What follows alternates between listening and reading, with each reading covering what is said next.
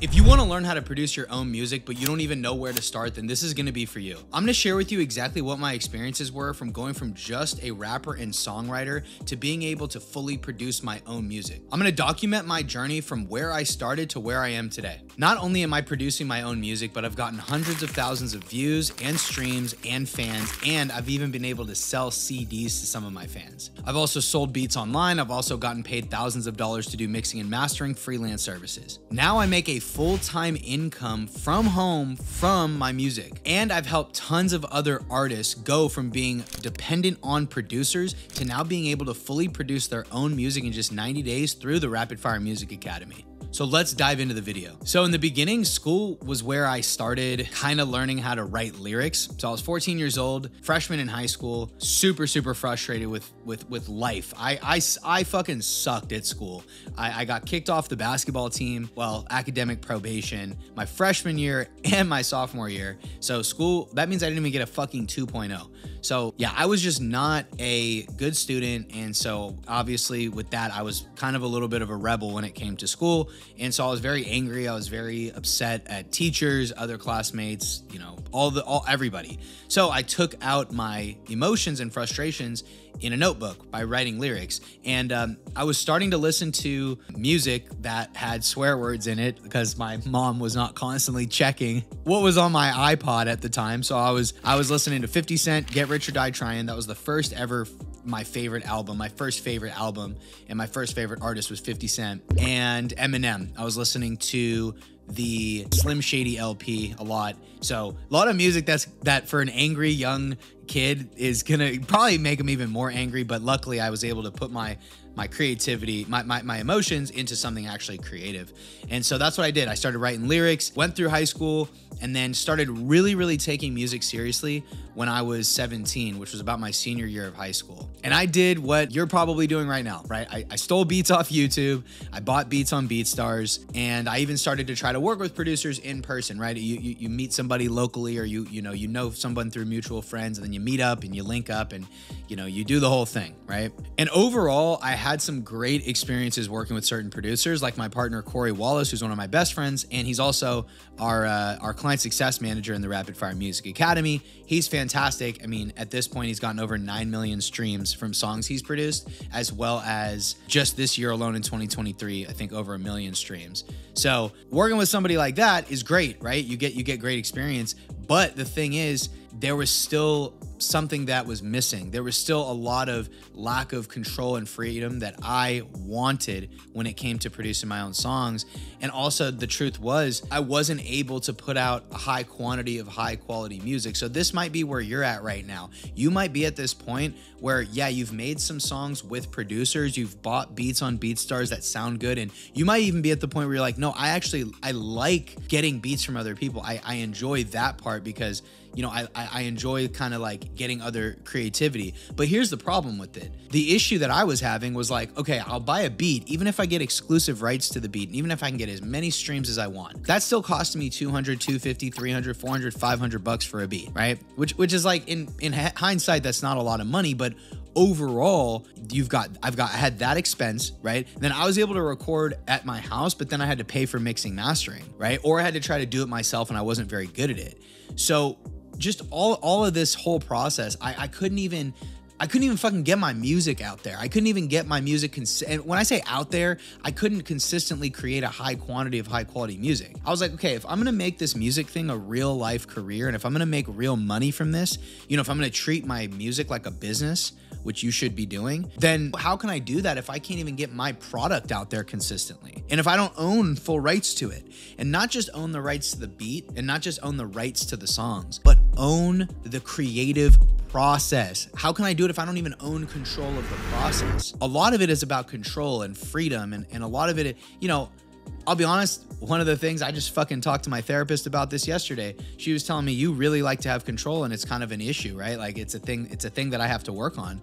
But I would say in certain ways it's actually benefited me because I've ended up doing more for myself than anyone else can do for me because of that desire for control. And maybe you can relate to that, right? Maybe you're in that situation where you're like, yeah, man, I mean, I I I guess I don't mind paying for beats and stuff, but I would rather just do it myself. If that's kind of the situation you're at, I've been there. So what ended up happening with me was I said, okay, seven years after starting to you know, write and record. I was 17 when I started, and around the age of 23, 24 years old was when I was like, okay, I'm gonna start doing this myself. I'm gonna start producing my own music, right? I saw the story of Russ. I saw how he was blowing up. He was fully producing his own music. I said, okay, if Russ can do it, I can do it too, right? He's a normal person. He kind of made me believe that I could do it. So, what did I do? I did what you're again what you're doing right now which is i took to youtube right I, I, took to youtube and i started trying to find the answers and here's pretty much year by year breakdown how it went. For context, I was spending around four hours a day for five days a week learning YouTube videos, doing it myself, making beats, recording, writing, like just the whole thing.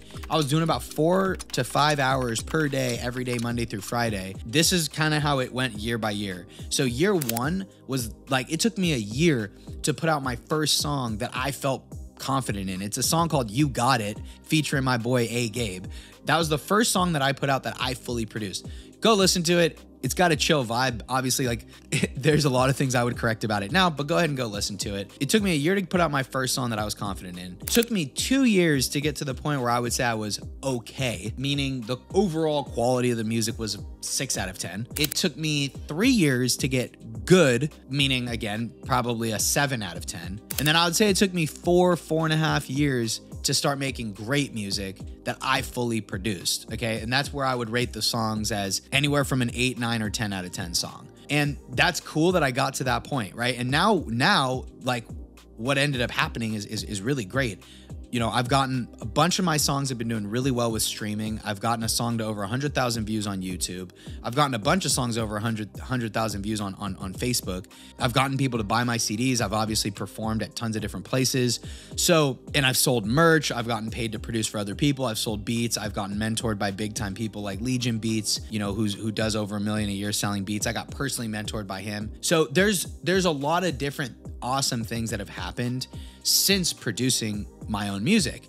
And the truth is, I don't regret anything, obviously. I, I, don't fucking have regrets in life. If you have regrets in life, you need to really give yourself a good hard look in the mirror and like figure out what the fuck is wrong with you. To be honest with you, you're like not a whole man if you have regrets. But I, if I could change anything, right, I would look back and say, well, I had to learn it on my own. And although I didn't spend money to learn how to produce, I absolutely would have done it if the option was there, if it was the right thing right? When I, I know when I graduated from Chico State, which is where I went to college, I got a call from Full Sail University. They're a huge music university. Their program in person in, in I believe it's Orlando, Florida, was $40,000 to go in person. And, and it was to learn, you know, all this stuff. And I said, dude, I just finished fucking regular college. I'm not going back, first of all. Fuck that. Second of all, 40 grand to learn how to do this shit in two years. I just, I just was like, fuck it. No way. I can learn this shit for free. And then they were like, well, we can teach it to you online. It's only $16,000 and it's online. It's going to take you two years. I said, fuck that again. I'm not doing that. I don't want to do that. That's, that's ridiculous. I'm not spending that kind of money to, to, to learn. Again, not, not like there's anything wrong with spending money, but like that, like, I'm like, no, I'm not doing that. My parents just like, we just went through this whole thing with college. Like, I'm not about to go back. Fuck that. I said no, but I realized those are the options, right? So if I had had an option where there was somebody out there who actually knew what they were doing, who was relatable, who had results that I wanted to get and that I could learn directly from that wasn't going to cost me fucking 16 or 40 grand and would have gotten me results f- way fucking faster, I would have fucking done it. Like absolutely without question, I would have fucking done it. And that's exactly why I started the Rapid Fire Music Academy, right? We've gotten tons of results for our clients and we actually guarantee results. So essentially, the way it works is you come into the program, like you get on a call with me, we get you enrolled, get you onboarded, get you started pretty much the day you hop on the call with me.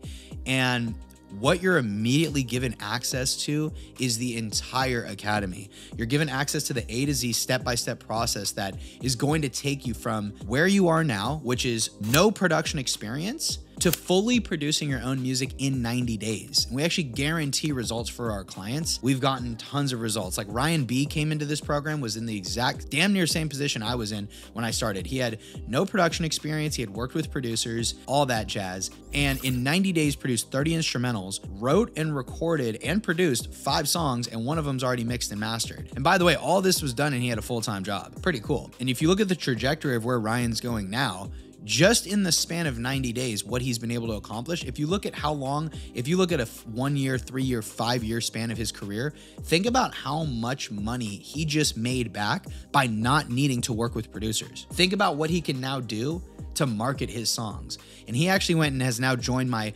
private elite mastermind, which is Rapid Fire Music Masters, where I'm actually going to be launching his next song for him. That's what I do in the Rapid Fire Music Masters. I work with you on a direct one to one basis, and I actually launch your first song for you. Like I build out your marketing campaign, I work on it with you, we do it together, and then I set you off to do it on your own. And then I also give you advanced production. So he's already joined me with that. Ange, another great example, right? She came into the program, wasn't really getting songs done very fast. She was getting songs done, it would take her like three months, and she wasn't dialed, she wasn't rocking and rolling. She said she didn't feel professional professional in her career. In the first eight weeks, she went from she she produced two full songs, made the beat, wrote the lyrics, recorded vocals, mixed and mastered two songs in eight weeks. Ended up again joining Rapid Fire Music Masters and said, "Hey Lee, I actually want to be a producer and make money as a producer. Can you teach me how to build that?" I said, "Absolutely." So in the first 30 days, she closed seven production clients. She's now running ads and getting